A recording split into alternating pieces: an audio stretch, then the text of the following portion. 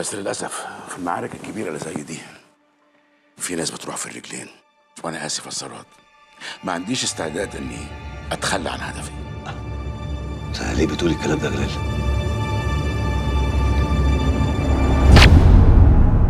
بس أنا حبيت أراجع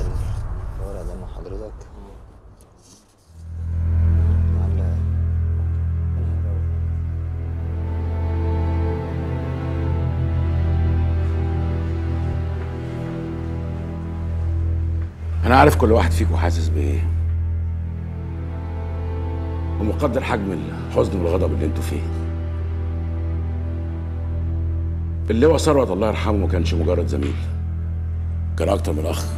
وما يستاهلش اللي حصل له ده ابدا. استغفر الله العظيم. ولكم في القصاص حياة يا أولي الألباب. صدق الله العظيم. إحنا هنلتزم بالقانون. ومش هنخلي الغضب يسيطر على تصرفاتنا. في تحريات اتعملت وفي متهم رئيسي قدرنا نوصل له والقرائن كلها بتؤكد صحة التحريات دي. بعد إذن سيادتك يا فندم. ويا ترى هو مين؟ علي يحيى نصير. علي. اللواء ثروت الله يرحمه قدر يوصل لمعلومات في غاية الأهمية عن نشاطات مجموعة نصير. طلب من علي يتقابلوا بشكل ودي عشان عايز يتأكد من بعض المعلومات. ولما علي اطلع على الأدلة والقرائن وتأكد إن هو هيتعاقب قرر يخلص من ثروت. بس اللي ما كانش عامل حسابه عليه إني كنت عارف إن ثروت هيقابله. الله يرحمه. علي يحيى نصير لازم نوصل له ونقبض عليه قبل ما يهرب وقبل ما يعرف إن إحنا عارفين. قدامكم أقل من 24 ساعة.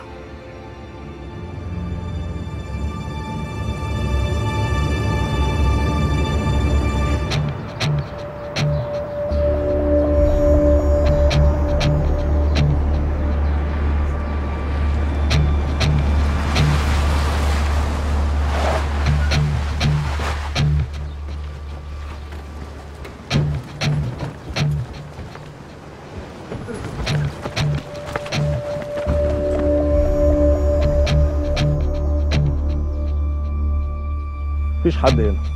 لا بواب ولا شغالين ولا أي حد خالص؟ ولا أي حاجة تثبت إن في حد كان عايش هنا في يوم من الأيام. ولا ورق ولا صور ولا أي حاجة. خلاص. إحنا نحط حراسة على البيت لحد ما نشوف النيابة هتؤمر بإيه. مفيش أي حاجة تانية هناك. وأنا مشيت الخدامين بالليل وقلت لهم يجوا لك البيت بتاعك. محدش فيهم هيتكلم. كل واحد فيهم عارفين عيلته وولاده وأصحابه وقرايبه. ولو قال حاجة غلط مش هنرحمه. آه ده كل حاجة؟ تقريبا آه. كل الأوراق اللي تخص ملكية البيت ورخص العربيات وصور يحيى نصير شوية حاجات رفايع كده تخص وداد مراتي وحاجات بسيطة أنا كنت سايبها هناك لأن ساعات كنت ببيت في البيت. عاوز أقول لك أنت بعيد عن أي شبهات. لغاية دلوقتي. أنت مش شايف الجرايد عمالة تكتب إيه من الصبح؟ بالكتير هياخدوك مجرد شهادة. مفيش أي علاقة تربطك بالجرائم اللي حصلت ابدا. ده حرب يا متر. حرب. ولو هتطول هتطول الكل. لا هيشفع قرابة ولا معرفة ولا خدمات ولا أي حاجة خالص. مرحلة. مرحلة كنت عامل حسابها من بدري إنها هتبتدي. بس لا أنا ولا أي حد يعرف هتنتهي على إيه. على اي الحالات؟ خد الحاجات اللي انت عايزها وأنا هاخد بقية الحاجات اوديها البنك بتاعنا. ها؟ طيب.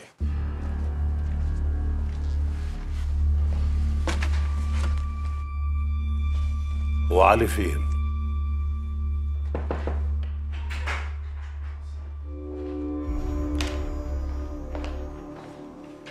تمام يا فندم. عملتوا إيه؟ مش موجود في بيته بس قدرنا نحدد مكانه. اطلع بقوة حالا وأنا هتصرف بإذن النيابة ونتصرف إزاي لو كان معاه سلاح مثلا أو حاول يقاومنا؟ تقتله بدون ذرة تردد. أنتوا طالعين تقبضوا على قتل اللواء ثروت مش طالعين تهزروا. لازم يبقى في حسم وقوة في التعامل مع مجرم زي ده. فاهمني؟ تمام يا فندم. اتفضل.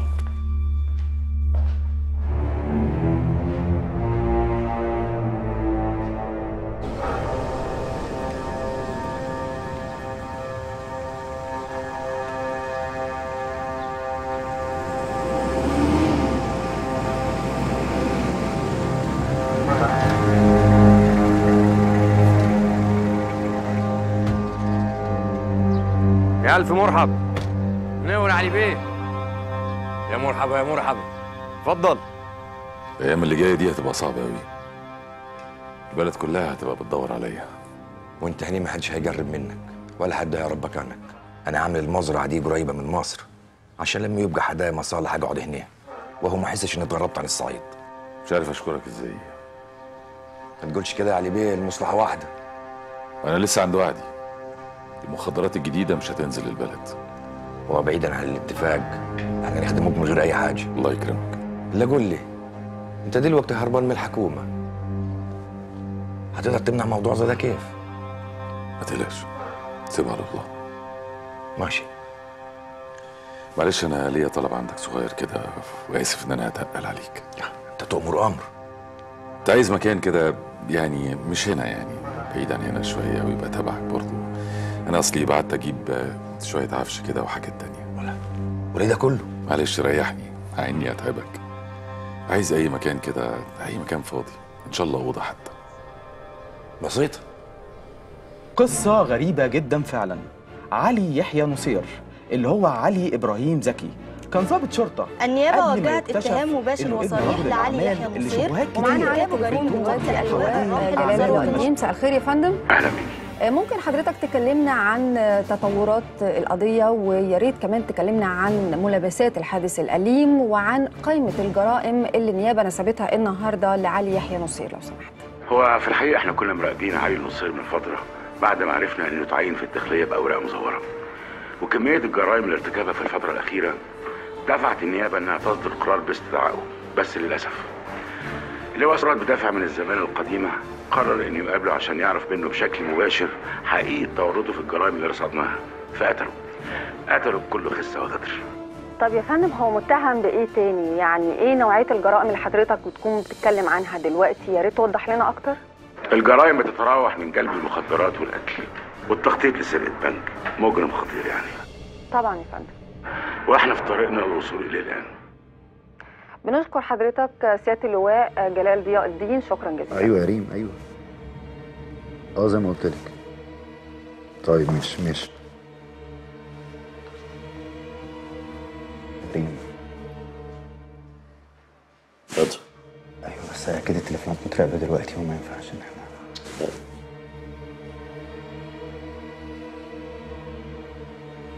أيوه يا بنتي. ممكن أفهم بقى إيه اللي بيحصل بالظبط؟ بيحصل انت شايفاه. اتهامات كتيرة قوي موجهة ضد علي. أنا بتمنى إن شاء الله إنه يطلع منها براءة. على فكرة هم احتمال يطلبوني للتحقيق. أنت عارفة أنا هقول كل حاجة بصراحة. وبكل أمانة. أبوكي ما بيخبيش حاجة ابدا. علي لو جراله حاجة أنا مش هسامحك ابدا. ادعي له يا حبيبتي. ادعي له ما تقلقيش. ربنا يظهر الحقيقة يا بنتي.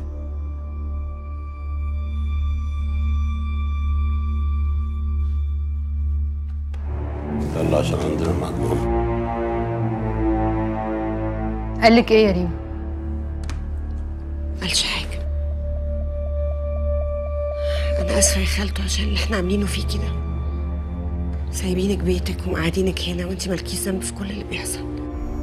تقوليش كده يا حبيبتي. هو انت يعني كنتي أذنبتي في إيه؟ أنا أهم حاجة عندي إن أطمن عليكي. الله يرحمك يا إيمان. ومنك لله يا حامد. أنا مش عايزة أزعلك. مالكيش دعوة بيه. مش هتشوفي منه خير ابدا. صدقيني يا ريم. طب ما أنا عشت حياتي كلها بعيدة عنه. ولما قربتي منه جرالك إيه؟ أنا عارفة إنه أبوكي وما ينفعش تقاطعيه. بس انت ما تفتكريش اللي عمله في أمك. ده في مرة مضاها على كمبيالات عشان كان عايز يستلف فلوس من واحد. وما سددش الفلوس. وجا البوليس عشان ياخدها. لولاش خبيناها. ودي إيه؟ حاجة من مئة حاجة كان بيعملها. ده إحنا كنا عايشين في حزن ومناح. عارفه إن هو أبويا وإن أنا لازم أحبه وأحترمه. ايا كان إيه. بس أنا مرعوبة يا خالته. مفيش أي حاجة مسيطرة على دماغي دلوقتي غير إن أنا أحمي نفسي وأطمن على جوزي. بس خايفة أكتر من إن أنا فجأة ألاقي نفسي فايقة على كارثة. كارثة تخليني أشوف الحقيقة زي ما هي. وأتعايش معاها بعد ما أكون خسرت أغلى حاجة في حياتي.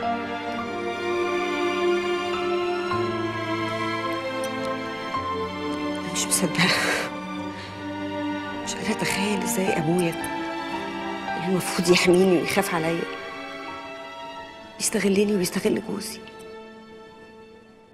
عشان فلوس ولا عشان نفوذ ولا عشان يحمي نفسه من جريمة هو عملها. ايا كان السبب. مش همه إذا كان ده ممكن يدمرني ولا يدمر حياتي. مع إنه لو فكر شوية هيكتشف إن لو ده حصل بجد كرهي ليه هيكون أخطر بكتير من أي حاجة هو بيحاول يهرب منها دلوقتي. عشرين مليون دولار زيادة وكاش وما نفتحش أي كلام في اللي حصل قبل كده. وهو في حاجة حصلت قبل كده؟ تعجبني. طول عمرنا متفقين يا حامد وده اللي كان المفروض يحصل من الأول. واللي كان سبب القلق خلص. بتمن غالي. أنا بعوضه لك أه. طب واللي جاي؟ اللي جاي عز وزهزهة بإذن الله. بس علي لسه عايش وهربان. ضعيف مستخبي ومتهم. قول لي يا حامد هو أنت مش خايف تتلط في حواراته دي؟ أخاف من إيه يا أخويا؟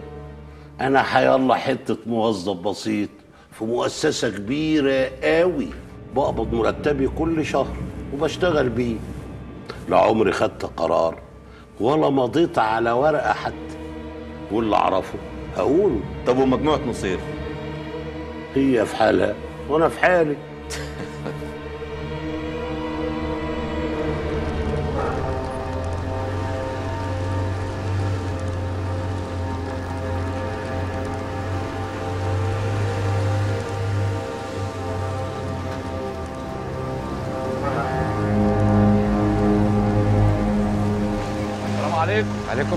السلام. خير.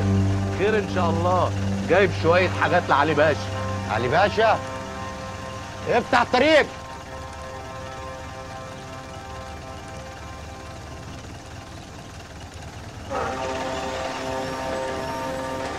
السلام عليكم.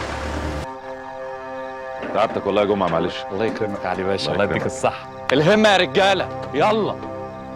ليه كل الكراتين دي؟ ملناش صالح. هو يقدر ينفذ وعده ليك؟ ما وفاش شيء اهو يبقى عندنا واحد. الحكومة ممكن تعمل أي حاجة عشان تتملك منيه وتقبض عليه. كسبانين من كل النواحي. تقلق شيء. المصلحة واحدة. يلا يا رجالة.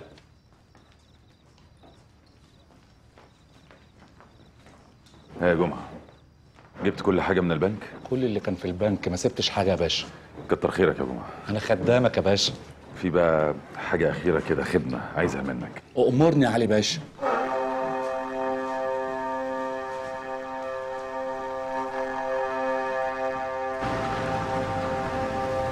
السلام عليكم يا بلدينا اتفضل. بقول لك إيه يا برنس؟ في شوية حاجات نسيتهم في مصر هروح أجيبهم وأرجع لك الصبح أو على الظهر بكتير. حاجات حاجات إيه كنبة وشوية عفش يعني ما لحقتش أجيبهم من المخزن المرة اللي فاتت. هجيبهم لك وأرجع لك بكرة ولا أنت ماشي؟ لا أنا قاعد هنا. طاط افتح الطريق؟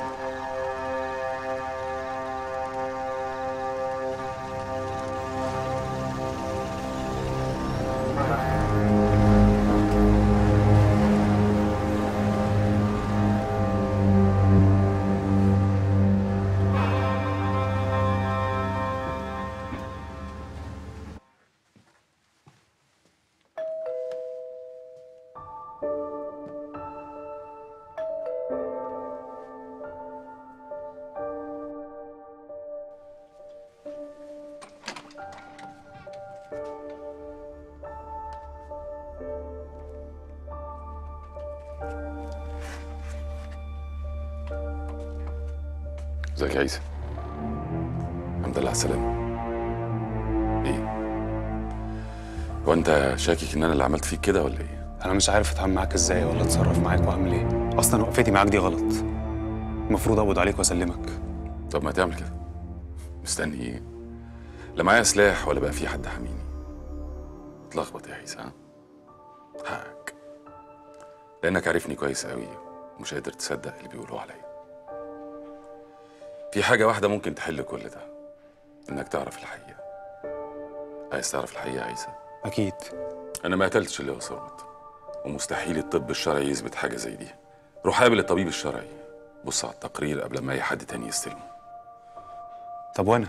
واللي حصل لي؟ دي حاجة بسيطة وهتبان لوحدها. اوعى يا عيسى تبين لحد إنك شاكك. اوعى حد يعرف إنت بتدور على إيه. بص على التقرير واعمل كل اللي تقدر عليه علشان محدش يزوره. هو ده اللي أنا طالبه منك يا عيسى. الحمد لله على سلامتك.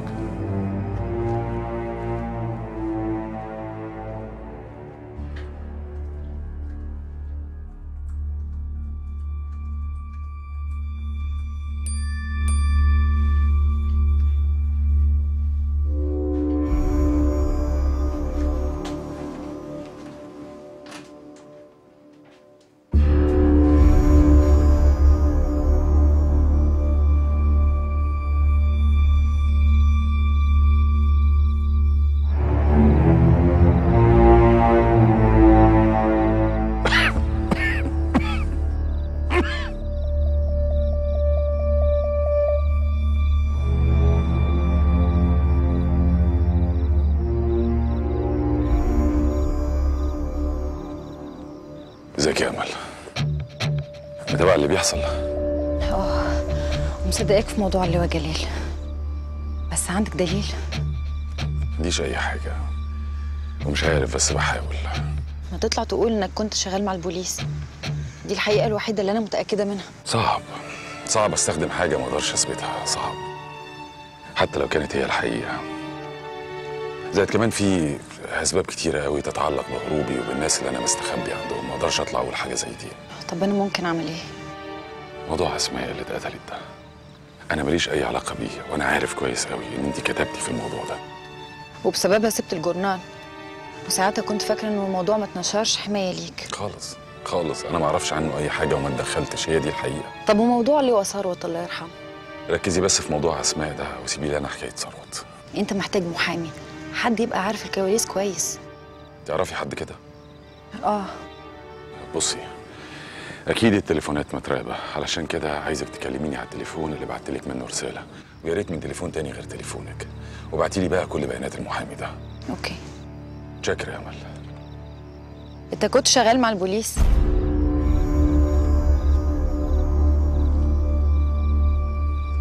لو طلعت قلت كده في حد هيصدقني؟ عنديش دليل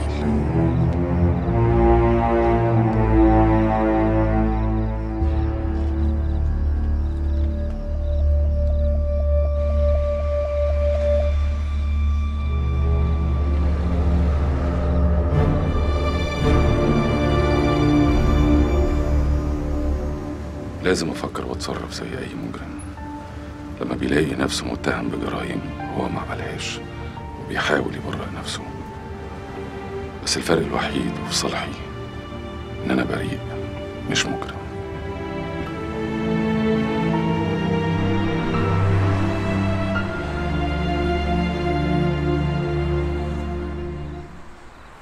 سمعت إن معاليك هتقابل الناس بره. وعشان كده أنا جاي لك. عايز أعرف تقدر تاخد كمية قد إيه وتوزعها في وقت قد إيه؟ أيوه يا باشا بس سيادتك التسجيلات دي إحنا مش هنقدر نستخدمها ضد علي في أي حاجة. لأن ببساطة زي ما حضرتك عارف تمت بدون إذن نيابه بس كفاية عشان النيابة تفتح تحقيق وخصوصا إن كل الأدلة محتاجينها معانا وتقرير الطب الشرعي في موضوع ثروت الله يرحمه هيخلص بكرة وهتبقى عندنا قضيه كاملة. أنا هشكل فريق بحث في خطك أنت كمان عشان يحقق في بقيه الجرائم. وفي تنسيق مع السيد مدير الأمن وقائد قطاع العمليات الخاصة في طريق إسماعيلية الصحراوي. إحنا هنطلع إذن من النيابة على بكرة بالكتير لمراقبة أي حد له علاقة بعلي. لكن طبعا المراقبة ابتدت امبارح. في أي معلومات عن مكانه؟ إحنا فعلا بدأنا المكالمات من امبارح. في مكالمة دارت بين حامد حما علي وريم مراته. بس كلام مش مهم يا فندم. الكلام ده هيفيدنا في إيه؟ معلش يا فندم أنا ممكن أقول حاجة؟ اتفضل. سيادتك أكتر حد فينا عارف عليه كويس وبالتالي دايرة معارفه بالنسبة لحضرتك هتكون أوضح من أي حد فينا. أنت صح. كلم منير بتاع الارشيف وخد منه عنوان واحد هديلك اسمه. اعتبره حصل يا باشا.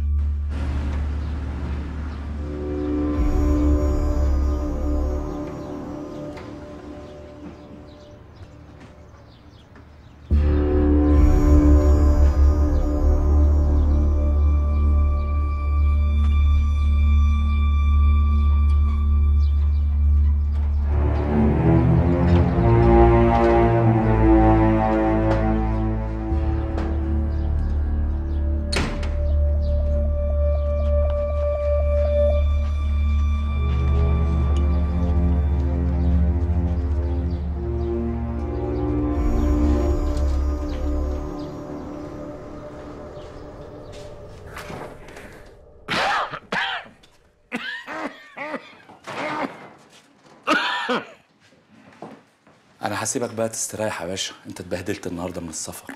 ما انت كنت معايا. بس انت ظروفك صعبة.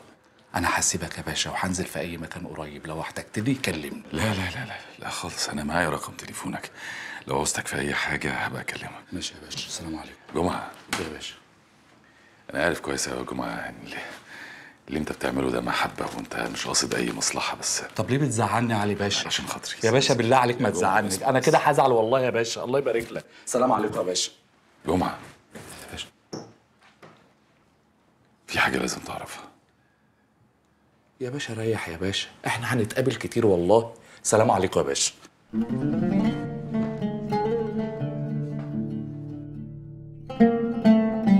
حتة الشغل وان أنا السبب. سامحني. ما كانش قصدي يا جمعة. كنتش أحب إن ده يحصل. صاحبي كمان اعترف لك باللي حصل حصل لك ما تعرفش. حصل لك ما تعرفش يا جمعه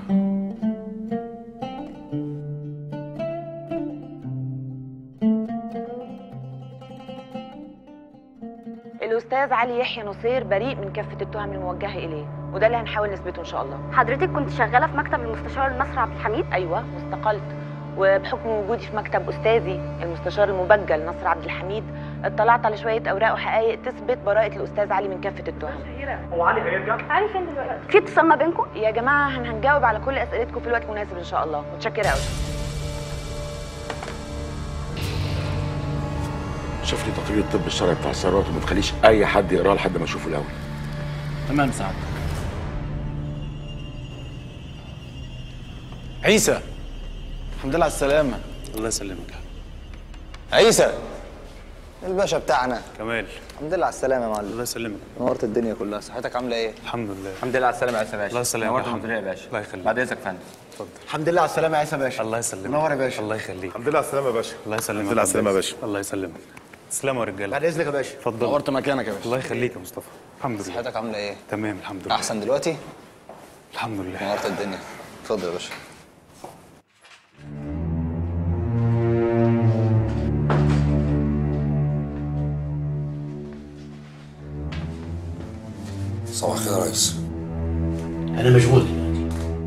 ريس موضوع مهم ما يستناش.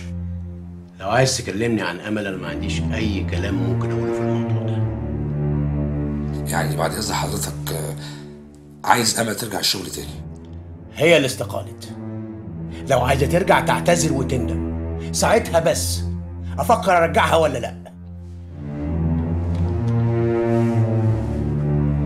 بعد إذنك يا ريس أمل لا هتعتذر ولا هتندم. يبقى في ستين داهية. وانت كمان. لو مش عاجبك الكلام في ستين داهية الباب يفوت جمل.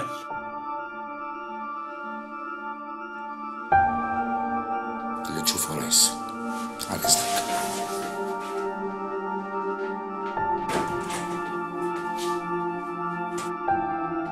إيه القرف ده؟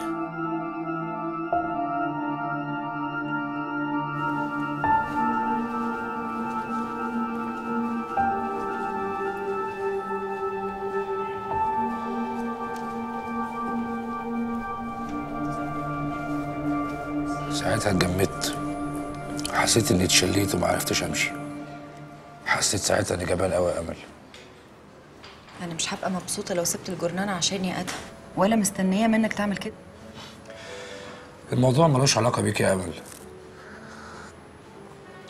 أنا من زمان كان لازم أعمل كده عشان أنا. كفاية إنك رحت وكلمته. وبعدين أنا ما كنتش عايزة إنك تعمل كده. عشان ما يفتكرش إن أنا عايزة أرجع. المهم ركز معايا في الكلام اللي أنا هقوله لك. أنا عايزاك تفترض إن علي نصير بريء. ده إزاي يعني؟ هو ده اللي أنا وأنت هنعرفه لو أنت حابب تشتغل معايا في الموضوع ده. والله أنا بالنسبة لي حابب. شوف أنت عايزاني أعمل لك إيه وأنا أعمله. تقدر تشوف حكايه اللواء ثروت دي؟ نشوف. أهلا يا عيسى باشا. إزيك يا كرم؟ عامل إيه؟ الحمد لله يا باشا تمام. أموري سعادتك. هو سؤال. اتفضل. اللي هو ثروت لا ده موضوع فيه تحقيقات وبلاوي وأنا ما أقدرش على كده. علي نصير. هو اللي قتله؟ بيقولوا. كرم. هات من الآخر. بقول لسعادتك إيه؟ آه، مش الجثة لقوها في المخزن بتاع علي نصير؟ يبقى هو اللي قاتل. بس الغريب بقى سعادتك إن الجثة اتنقلت من مكانها وراحت للمخزن بتاع علي نصير. عارف سعادتك لو أنا مكان علي نصير ده وحبيت أنقل الجثة وأوديها للمخزن بتاعي؟ وده طبعا واضح من الدم ومن السحابات اللي لقوها حوالين رجليه. غير كمان من سعادتك توقيت الوفاة اللي غير مطابق للتوقيت اللي لقوا فيه الجثة. وكمان سعادتك وضع الجثة والدم. الدم اللي لقوه على الباب وكان واصل لغاية الشارع. واللي محدش فكر يمسحه خالص. وبعدين اختفى فجأة. ده أكبر دليل إن الجثة اتنقلت بعربية. هو- أنا كنت بقول إيه سعادتك؟ كنت بتقول لو مكان علي نصير. آه. يعني لو أنا كنت مكان علي نصير وحبيت أنقل الجثة وأوديها المخزن بتاعي. طب سعادتك أعمل كده ليه؟ إيه؟ أحتفظ بالجثة تذكار مثلا؟ بس بقول لسعادتك إيه؟ هو علي نصير هو اللي قتل. تمام يا كرم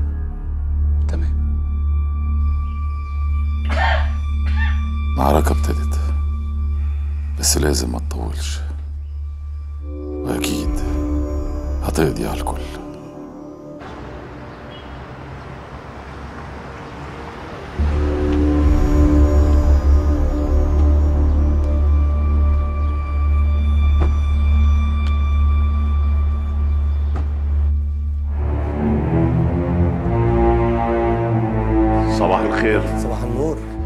الاستاذ نشأت هنا في مكتبه يا فندم.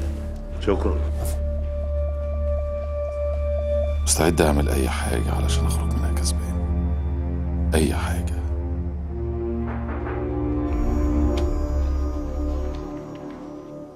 طب روح أنت دلوقتي. تعالى يا جمعه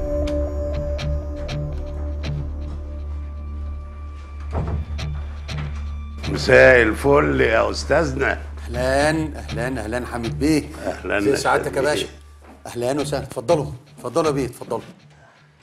الحقيقة إحنا جايين ناخد جزء من الأمانة اللي عندك. أمانة إيه؟ فلوس. فلوس إيه؟ وأنا كل ما أقول كلمة هتكررها ورايا يا نشأت. الفلوس اللي عندك.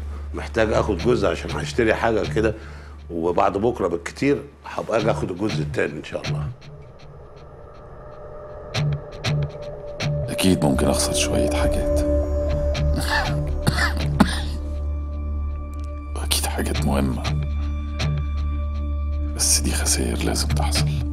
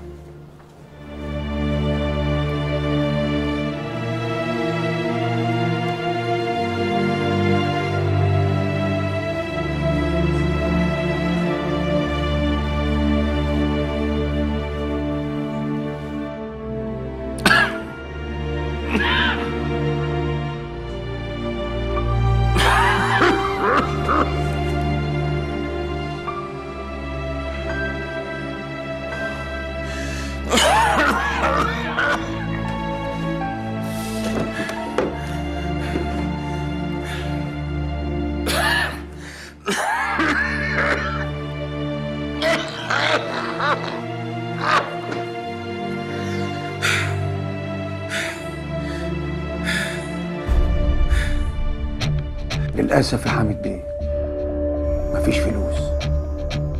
يعني إيه؟ يعني إيه؟ ما قدرتش أقول له لأ.